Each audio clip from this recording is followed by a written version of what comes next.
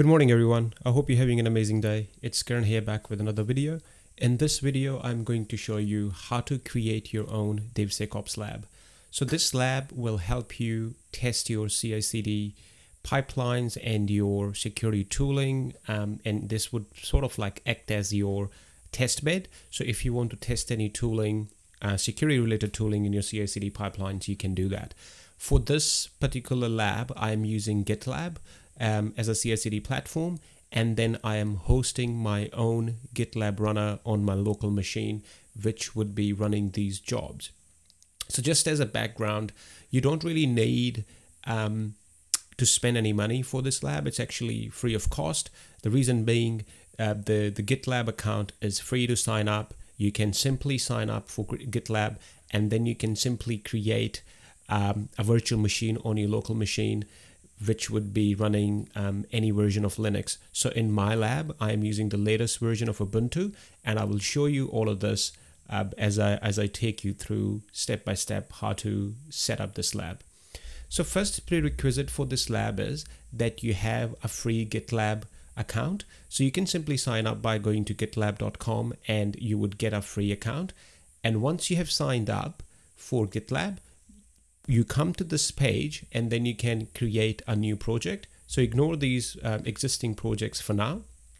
So I'm just simply creating a blank project and I'm just going to give it a name, say Wise Fox. Okay, um, you can ignore that. So I'm just using um, this particular group for now. And yeah, and then I will just leave everything as default and I'm going to go create project. So this will help me create my GitLab project. So again, as I said previously, this particular account is free and I am I'm not paying any money for it. So this is free to sign up and you can go to gitlab.com and you can sign up. So here you can see the WiseFox project has been created. So for now, this is all we need to do on the GitLab side and I will show you what else we have to do. So in order for you to test your pipelines and the tooling that you're going to integrate into your pipeline, there is a thing called runners. So, runners are um, the machines that would run your CI CD jobs. So, we, we can use either the runners that are supplied by GitLab. So, these runners are called shared runners.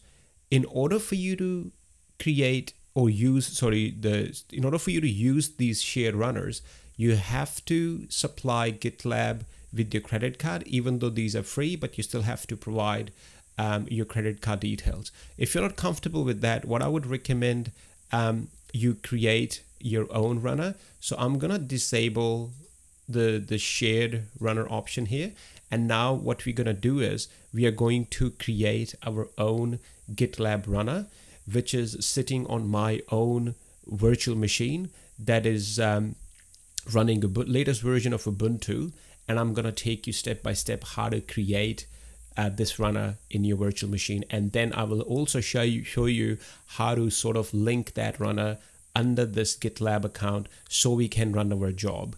So end of the day, once all of this is done, I will show you, um, I will run a sample pipeline, which would um, run on our newly created GitLab runner. And if all goes well, that means the runner that we have created or installed and the runner that we have linked under this GitLab account um, has been linked successfully and it's doing what it's intended to do. So let's just go now on our Ubuntu machine, which is right here. Let me quickly log in. Sorry, I pressed enter too quickly. Right. So this is just the latest version of Ubuntu that I'm running. Let me zoom in quickly. So don't worry if you, um, what I will do, all the commands that I'm going to type here, I'm going to post them in the description of this video. So you can just simply refer to those commands or I will just simply create a repository you can go to and you can sort of see the see the commands there. So this is just a fresh install of Ubuntu. And what we are going to do is we are going to create this virtual machine um, as a GitLab runner.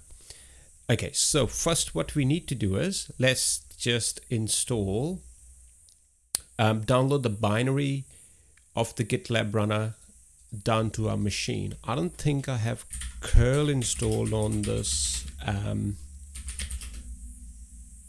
version of Ubuntu. So let me just quickly install that. You may already have it, but like, let me just quickly install that one. Hopefully that doesn't take too long. So once this is, okay, cool. So that was quick. So once this is installed, let's just, um, let me quickly make sure that I am sharing my clipboard. Okay, so that's fine now. Right, so I'm just downloading the binary of the GitLab runner here. Alrighty, so it is being downloaded. I hope this lab helps you sort of, um, you know, with your um, DevSecOps journey because, you know, you may be testing these tools. Look, another thing that I want to raise here is because this is just a test lab, so please don't sort of replicate the configurations that we are going to use here in the lab in your production environment because I don't I don't take any responsibility for that because this is just a test bed okay? So what do you want to do is perhaps you want to look in thoroughly into all the commands that we type and the permissions that we are using here in the test bed uh, but when you're replicating this stuff in the production. So thoroughly review what you're doing in your production environment and do not replicate what we're doing in this sort of lab environment. So hope that that clarifies. Okay, so here we just give the permissions um, to GitLab runner for uh, to execute. And now we're just creating a GitLab runner user with this command. Cool, so that's done. And now we're gonna run GitLab runner as a service. So this next command will help us achieve that. Cool, that's done. And now, finally, let's just start this GitLab runner. Okay, cool. Let me just run this command quickly just to make sure that we've got GitLab runner working appropriately. Okay, cool. So we've got the GitLab runner working. We can see the version number and stuff. Okay, cool. So this is this bit is done. Now, the next thing that we need to do is now we've installed the GitLab runner on our virtual machine. The next thing that we need to do is to register this runner under GitLab. And in order to achieve that, this is the command that we need to do, uh, need to use. The last part of this command request you to enter the registration token. Now, some of you would wonder from where you're going to get this registration token. So let me just show you that. So under your GitLab, once you have signed up under your gitlab.com um, and once you've created your project, you come under settings, CI/CD, click under expand on runners, and you will see your registration token. So I'm just going to copy that and I am going to insert and enter. So it's asking me a bunch of questions now. Enter the GitLab instance URL. So if if your GitLab instance URL is different from the one that is uh, already displayed here, please enter that. In my case, I am using gitlab.com, so I'm just going to use that enter the registration token. Cool, I've used that. Enter description for the runner. Well, I'm just gonna say local runner. Okay, enter tags for runner. It could be anything. I'm just gonna type local there. Enter optional maintenance node for the runner. None. I'm just gonna leave it there.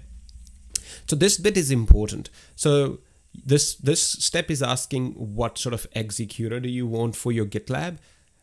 I had issues with the Docker executor, even though using Docker executor is really nice and quite neat when you're running multiple jobs on the runner. But what I'm gonna do is instead of choosing Docker here, I'm gonna use the shell executor. This is again just my personal preference. You can choose to use Docker, uh, but I had some issues with the artifacts when I was using Docker executor. So uh, for the lab purpose, I'm only I'm going to use the shell executor. It shouldn't make much of a difference in a lab environment, so I'm just using shell for now. So once I've chosen my executor and pressed enter, as you can see, it says runner registered successfully. um, and all of that jazz. So now let's go back to our GitLab and let's see if our runner um, got registered. So let's refresh this page again. Um, expand runners again. And there you go. So the runner that we created or registered, you can see that runner available here.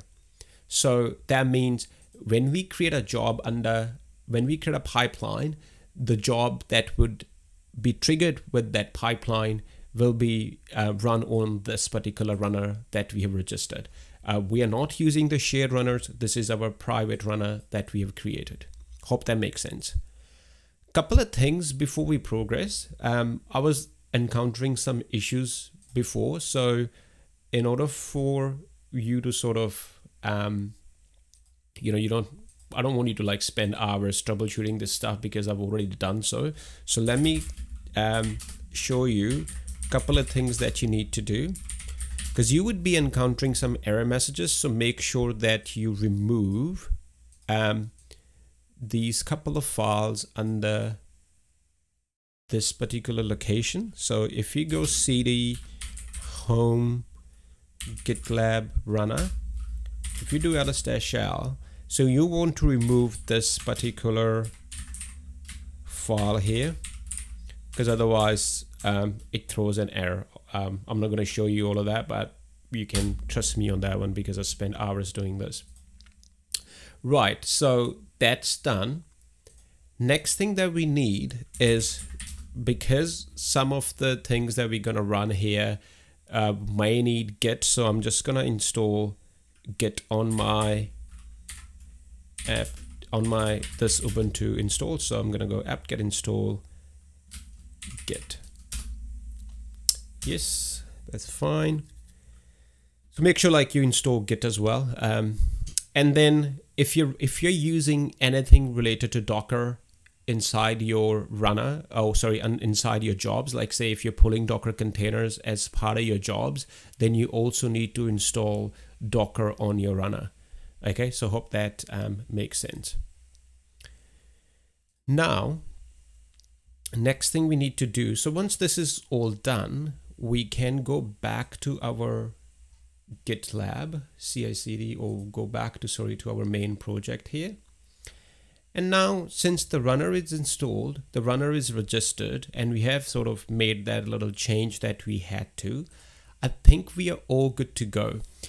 Because I'm not going to test anything regarding Docker, so hopefully what I've done so far should work as expected. Um, and in order for us to test um, a pipeline, what I'm going to do, I'm going to create a file. This file is really like the core file of your um, of your pipelines. Um, so the the name of the file is dot .gitlab-ci.yml.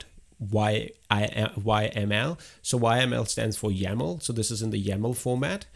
And the pipeline that we are going to test, its contents are, let me just quickly paste that here. So this is what we are going to test. So in this file, we've got four stages of four um, four stages, and we have defined four separate jobs for each stage. And all we are doing is we are saying under the build stage, just simply echo that this is a build stage. So what echo command is going to do, it's just simply going to print out whatever a string there is in these double quotes. And similarly, we have created three other jobs under separate stages with separate names. And once we go and do commit changes, so if I go to my pipelines again, since we triggered the changes, you can see all of our jobs ran. So if you want to view more information about a particular job, you can simply click on the job and you can see what's actually going on behind the scenes. So you can see because we selected shell executor while registering our runner, it's using that shell executor. And all we were doing in that particular job was just printing that this is a test stage and the result of that we can see here and the job was successful. So yeah, so you know what we entered um, as part of our build, as part of our pipeline here, it actually got executed on our private runner, which means our private runner that we registered with GitLab and the runner that we installed is running successfully. So now you can pretty much go ahead and you can start testing um, you know various tools by creating your own sample pipelines if you are interested in more DevSecOps related content or you want to see more videos please feel free to let me know. Also um, yeah and, and again just to sort of reiterate if you're running anything regarding Docker, like if you're pulling any container as part of your jobs, you need to make sure that the Docker, you have installed Docker on your runner and um, you have a, a enabled Docker on startup and you have uh, enabled Docker daemon and all of that jazz. So yeah, so I think this is all for this video. If you have any questions or if you come across any issues, feel free to let me know and I'll be happy to help you with that. With that said, um, have a great day, guys, and I'll see you guys in the next one.